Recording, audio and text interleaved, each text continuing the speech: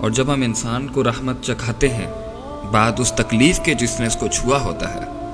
لَيَقُولَنَّ هَذَا لِي تو وہ کہہ دیتا ہے، ضرور بالضرور یہ تو میرے لیے ہی تھا۔ آئی ڈیزرو دس رحمت۔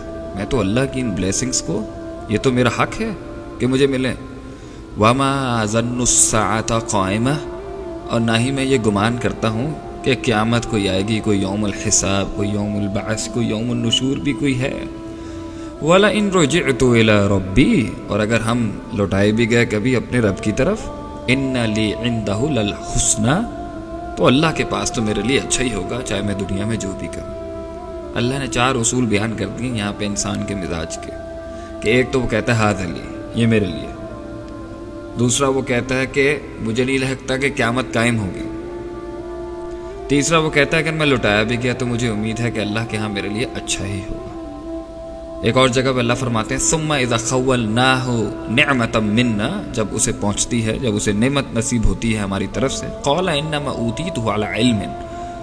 یہ تو مجھے اپنے علم knowledge tricks tactics worldly smartness کی وجہ سے مجھے ملا، جو میں نے اصول دنیا سے سیکھ لیا خود اخذ کر لیا تھا۔ اللہ تعالیٰ کا اس نعمت سے کوئی تعلق نہیں ہے، نعوذ باللہ۔ ثم اذا خولہ نعمتا منہ اور جب اسے اللہ تعالیٰ فرماتے ہیں ایک اور مقام پر کہ جب اسے نعمت ملتی ہے نسیا ما کان یدعو الی تو وہ بھول جاتا ہے کہ وہ کیا دعائیں کرتا تھا اللہ کو اللہ کو بھول جاتا ہے۔ ایک اور مقام میں اللہ فرماتے ہیں، فلما کشفنا عنہ ذرہ، اور جب ہم دور کر دیتے ہیں، کشف کر دیتے ہیں اس سے تکلیف کو، جو اسے پہنچی ہوتی ہے۔ مرہ کالم ید اونا ذر مسہو، تو ایسے اگڑ کر چلا جاتا ہے آگے سے، جیسے کہ اس کو کبھی وہ تکلیف پہنچی ہی نہیں۔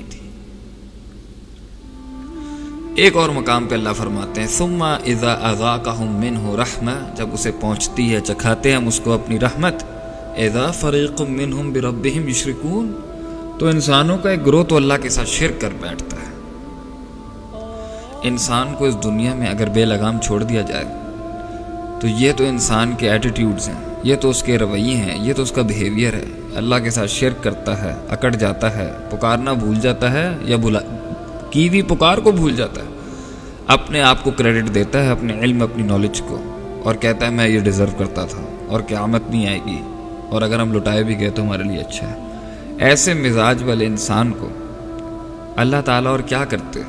اور تو اللہ اللہ تو ہر چیز پر قادر ہے، لیکن یہ اللہ کی حکمت ہے۔ اس کا وزڈم ہے کہ اس نے انسان کو دکھ دیا۔ کیوں؟ ولا نذيقنهم من العذاب الادنى دون العذاب الاکبری ہم بڑے عذاب سے، جہنم اور قبر اور آخرت کے بڑے عذاب سے پہلے اس کو چھوٹا عذاب دے دیتے ہیں۔ لعلهم يرجعون۔ اس امید کے ساتھ کہ وہ پلٹ جائے گا، ہماری طرف لوٹ جائے گا اللہ کے دین کی طرف۔ اللہ غم اس لیے دیتے ہیں کیونکہ انسان غم میں اللہ کے قریب ہوتا ہے۔ وَإِذَا مَسَّ الْإِنسَانَ الظُّرُّ دَعَانَ لِجَنْبِهِ وَقَائِدًا وَقَائِمًا جب انسان کو تکلیف پہنچتی ہے، تو وہ پکارتا ہے ہمیں لیٹ کے بیٹھ کے اور کھڑا ہو کے۔ تو اللہ تعالیٰ انسان کو اس لیے غم دیتے ہیں تاکہ وہ اللہ کی طرف رجوع کرے۔ اور دنیا میں اسے چھوٹی تکلیف مل جائے، آخرت کی بڑی تکلیف سے بچ جائے۔ اور اس لیے غم دیتے ہیں کہ جو گناہ ہیں وہ جھٹ جائیں۔ اور اس لیے دیتے ہیں کہ کوئی بڑا عذاب نہ آ جائے اس کے اوپر۔ تو پین از گڈ تکلیف کی دعا نہیں کرنی چاہیے۔ جو رحمت ہے، اس پر شکر ہے۔ اور جو تکلیف ہے، اس پر صبر ہے۔ اصل چیز تو آخرت ہے۔ انہوں نے اصل چیز دنیا کو بنایا ہے۔ تو دنیا میں تو نشب و فراز کبھی ختم نہیں ہوں گے انسان کے۔ لیکن جو چیز ختم ہو سکتی ہے، وہ استراب ہے۔ اللہ کو مان کر، آخرت کو مان کر۔ حساب کتاب کے دن کو مان کر۔ اور جو اس دنیا میں نہیں ملا، وہ وہاں مل جائے گا۔ اور جو مل گیا ہے، اس پر ہم نعمت ادا کرتے ہیں۔ اللہ تعالیٰ ہمارا آسان حساب لے اس کے لیے۔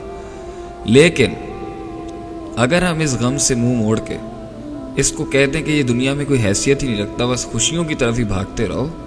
تو اس نے تو بہت لوگوں کی جان لے لی، کیونکہ یہ دنیا بہت سخت ہے گزارنا۔ مگر جو چیز انسان کو ہمت دیتی ہے اس میں چلنے کے لیے، اس سے چلنے کے لیے، اس میں سے چلنے کے لیے، وہ ہے آخرت۔ وہ ہے اللہ کی ذات پر کامل توکل، اندھا توکل، کہ اللہ نے میرے لیے جو بھی سوچا ہوگا اچھا ہی سوچا ہوگا۔